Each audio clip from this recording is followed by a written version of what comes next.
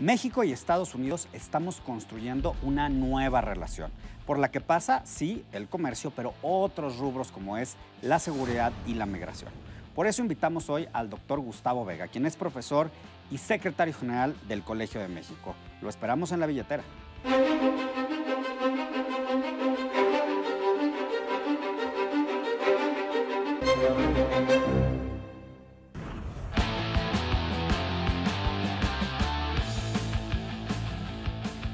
La relación México-Estados Unidos está en una nueva dimensión. No solamente por la renegociación del Tratado de Libre Comercio y esta nueva cultura o esta nueva determinación de Donald Trump de hacer relaciones específicamente bilaterales.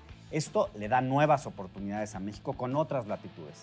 Y para platicar de esto invitamos a Gustavo Vega, quien es profesor y secretario general del Colegio de México. Bienvenido, don Gustavo. Pero no es Muy amable. Gustavo Vega, es el doctor. El doctor, El doctor Gustavo Porque Vega, si alguien claro. conoce el TLC alguien, alguien que tiene doctorado en serio, No, no, solamente académico, sino en la práctica.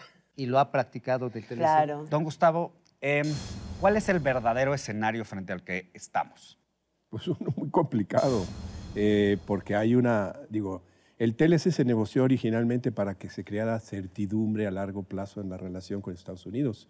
Eran instituciones, etcétera, todos íbamos, los empresarios iban a tener un marco institucional en base al cual iban a invertir a largo plazo.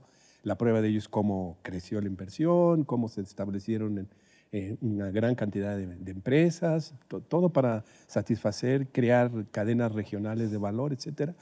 Y llega alguien que de repente dice, pongo todo esto en cuestión.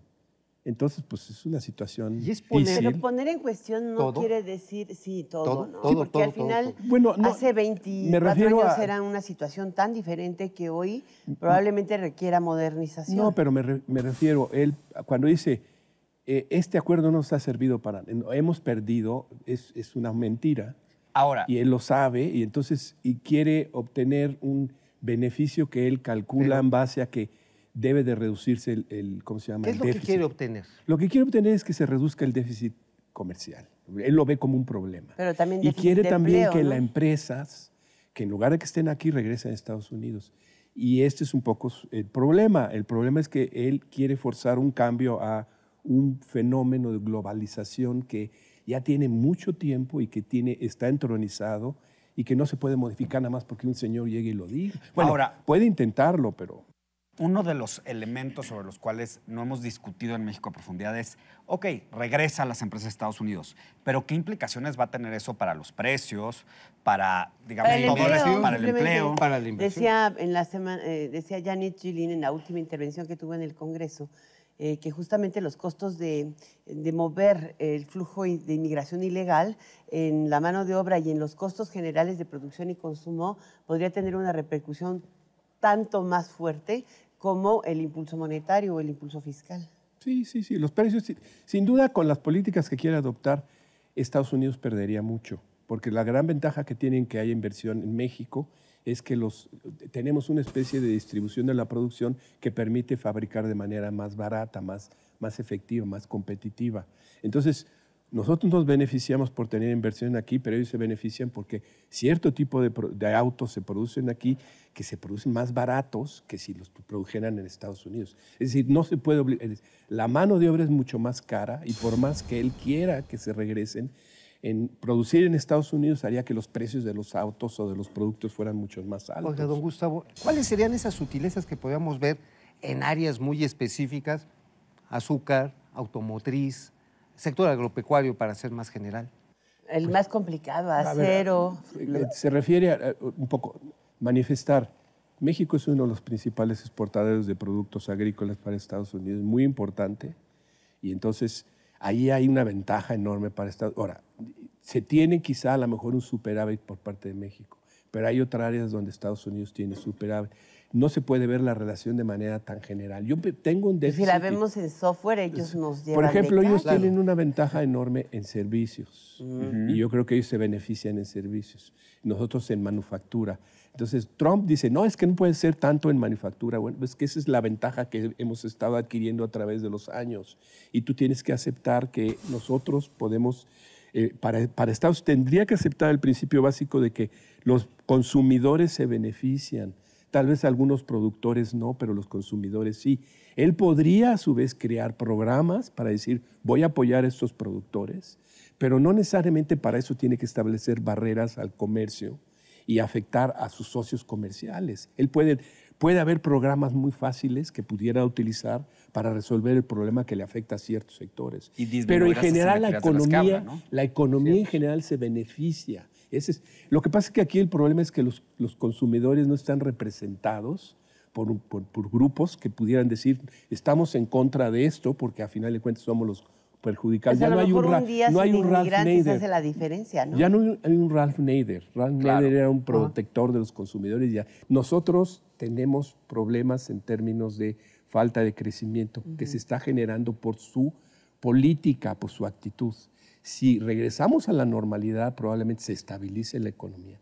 Si usted reconoce que México ya no es el principal exportador de mano de obra, como él sugiere, si usted reconoce que además tiene una población que claramente está envejeciendo y que va y requiere de mano de obra para muchos sectores, servicios, médicos, etcétera, de salud, podríamos pensar, sobre todo en un, en un esquema en que el TLC incluso contempla visas mayores para, o hay programas de trabajo, a lo mejor podría usted permitir que, ok, entendemos que ya no se quieren trabajadores ilegales, vamos a legalizarlo, vamos a hacer trabajo Flujos legal, migratorios flujo legales. migratorio legal.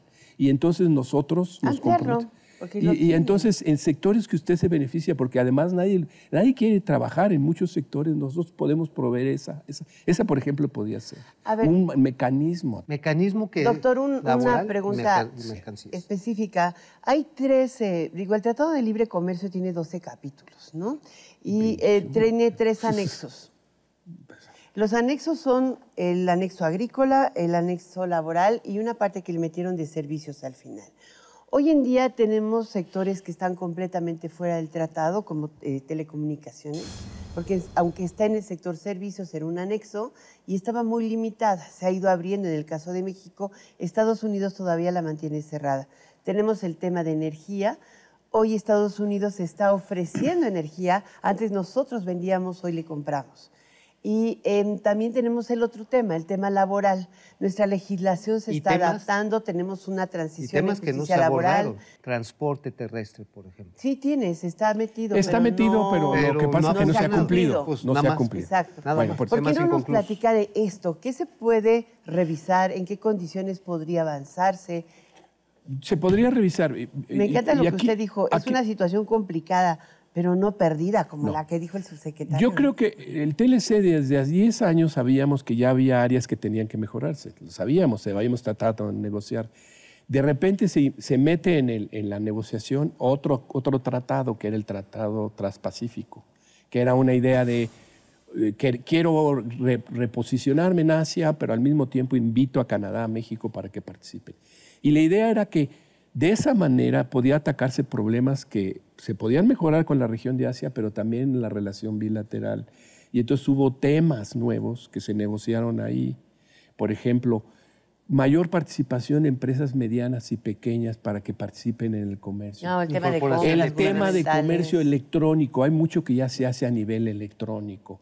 El tema de armonización regulatoria. El término de modernización. Por ejemplo, hay algo que sé que aquí no le va a gustar a, a- a alguna gente, por ejemplo, a los negociadores del TLC, los lo- originales, creen que los acuerdos paralelos que negociamos de trabajo y de medio ambiente fueron muy buenos y, y- y México se protegió. Y sí. Pero la verdad es que, por ejemplo, el, el acuerdo laboral nunca tuvo dientes. Y entonces un poco lo que se Y está... los resultados Y los lo resultados son... diciendo. Entonces, Son pobres y hay esta visión de que en México no se respetan las leyes, de que... Entonces yo creo que... De que tenemos el- sindicatos blancos, Sí, que tienen medio razón. Tiene ¿no? razón, pero, Algo, pero en, algo. en alguna medida, en la medida en que hay un tratado que diga, oigan, ustedes tienen que facilitar la libertad sindical, todo esto, pues podría ganar México legitimidad en términos, no estoy, no estoy, ¿sí me entiende? sea, no estoy protegiéndome mis vicios. No estoy protegiéndome mis vicios. En el TPP ya se había negociado un, un acuerdo en el que México reconocía que tenía que cumplir ya de manera más vinculatoria. Hasta con compras gubernamentales, Compras, gubernamentales, regu- ah, regulaciones. Ambiental etcétera. también. Ambientales. Sí, él, él quiere, él quiere obviamente ponernos en un estado de debilidad para en- en- en conseguir más Claro. Sí, sí. Eso es lo que Ese quiere. es el malo de la película. Pero hay ciertos elementos en México que nos ponen en una situación de más fortaleza y son muchos otros tratados. Es decir, sí Trump, sí el comercio con Estados Unidos, porque en estos momentos pues, es la gran mayoría, pero ¿hacia dónde tenemos que voltear en México? La verdad es que ya desde hacía años, por ejemplo, el TLC en una primera época, nosotros recibía, era el 80% del comercio, sigue siendo parecido en el caso comercial, pero en inversión ya no. En inversión recibíamos antes casi el 70 de Estados Unidos, ahora es el 46. Y por la apertura que hicimos, empezamos a traer mucha inversión asiática, pero europea, la que más ha crecido en los últimos. Yo tengo un trabajo que acabo de escribir que demuestra que el crecimiento de la inversión extranjera Española y alemana. La española, alemana, holandesa, etcétera, impresionante. ha sido la que ha llenado y, y ha ido superando. Y Pero creciendo. esa inversión está localizada en México para exportar bienes no a Estados necesariamente. Unidos. Gr- Gran la parte de, farmacéutica es para acá. la, para gran, América Latina gran parte, bueno, obviamente automotriz, Volkswagen exporta para Alemania, muchas, etcétera, pero mucha de la inversión es para el mercado interno. La española es para turismo, es para muchas, muchas industrias que es para el mercado interno. La que está para exportar es la estadounidense y la, y la japonesa en alguna medida para exportar a Estados Unidos. Pero la europea ha sido mucho porque ven nichos en que ellos quisieran, en que, en que en ven una oportunidad para crecer. Doctor, ¿debilidad en la parte de las, de las remesas tenemos o, y- o cómo la debemos de entender? Debilidad en términos de que pueden imponer un impuesto. Exacto. Mi- o que el- dependemos mercado interno Lo de la intentaron antes. de ¿Y quién cree que, que frenó eso en Estados Los Unidos? bancos, ¿no? No, Western Union. Ah, Western ah. Union fue el principal actor que dijo, esto no lo... es- ustedes saben las em- la, la cantidad de empresas, digo, la cantidad de inversión que hay en México de Western Union. Dice, no, Muchísima. muchísima. Entonces, el principal opositor de eso va a ser Western Union. En el momento en que Trump de veras diga, lo voy a hacer, va a decir, Western- ah, sí, vas a ver. Para concluir esta, esta eh, ocasión, que espero que no sea la única, No, doctor, eh, nos dice cuál es la conclusión, digamos, en esta etapa de, senta- de asentamiento de la relación. Eh, ¿Cómo ve el encuentro entre eh, el canciller y el secretario de Estado Tillerson y también con el que- secretario de Seguridad? El que pasó? ¿no? Sí. Pues yo Eh, creo que es, Rex. va a ser Rex muy Tillerson. difícil que regrese el señor. Trump a México. Va a ser muy difícil, ¿no? Porque no creo que quiera que Como el llegue presidente Peña haya chiflidos ¿no? por todo el país, ¿no? Digo, este, yo creo que va a tener que ser ese tipo de negocios. Tillerson yo creo que es una gente que debe de tener una visión de la importancia de México. Yo creo que ya la han de ver, y él por su propia experiencia internacional, etcétera. El señor de Homeland, ya lo había dicho, el de Homeland, Homeland Security dijo, el muro no sirve, no sirve. Lo dijo en las declaraciones. en el- Entonces, hay esas contradicciones. Él sabe que eso no va a ayudar al problema de la seguridad. El problema de la seguridad es cooperación con México. Claro. Y entonces yo creo que lo que están haciendo es ir buscando fórmulas para, bueno, cómo podemos reconectar y buscar nuevas fórmulas para avanzar. Yo creo que hay, hay una Evidentemente, el acuerdo oportunidad. de con- Mérida ya no funciona, punto. Yo creo que nunca funcionó bien. bueno, no, no Sirvió en su momento. Sí sirvió porque de algún modo, bueno, además de los equipos militares, sí se utilizó mucho para el fortalecimiento institucional. Lo que está claro de esta conversación, doctor, es que tenemos que ser mucho más integrales en términos de nuestra relación bilateral, trilateral o Pero multilateral. separando comercio. separando comercio, claro, porque pues corre por una carretera totalmente distinta, ¿no? Sí. Eso, es, eso es lo que tenemos, debemos tener en mente, ¿no? Debemos de tener en mente, pero al mismo tiempo, yo no en, en términos de seguridad sí está claro que para facilitar ese comercio hay que asegurar, por ejemplo, con nuevas fórmulas Los de que otros no- rubros. los otros rubros, por ejemplo, en términos- el cruce les preocupa, bueno, migración ilegal, pero también les preocupa droga, les preocupa terrorismo. Dólares en efectivo. Entonces, hay nuevos, ah, por ejemplo, hay los programas de viajero confiable, la- las, todas las observaciones que se hacen en los camiones. Claro. Eso hay que fortalecerlo para que se aseguren de que por ahí no pueden pasar productos. Eso, ahí hay mucha inversión. Pero para ahí hacer. la verdad es que México también debería asegurarse de que por todo el territorio mexicano no pueden pasar esos productos. Por eso, nada más sí, de pero la también frontera. deberíamos de Pero es garantizar. parte de eso. La tarea Exacto. también es de Es parte- México. la tarea es de Tenemos muchas Pues, tareas pero es parte de pendientes, eso, es incluyendo parte la de Combatir el consumo. Muchas Finalmente el problema es el consumo. Claro. Creo que algo binacional contra el consumo de las drogas sería más benéfico que cualquier barrera Ay, física. doctor, vamos a tener que seguir platicando con Definitivamente. el doctor gracias. Gustavo Ver, que es secretario general del eh, Colegio de México, pero además es un experto, ya lo ve usted, en toda la relación México-Estados Unidos. Ojalá que se repita. Claro, encantado. Gracias, doctor. Muchísimas gracias.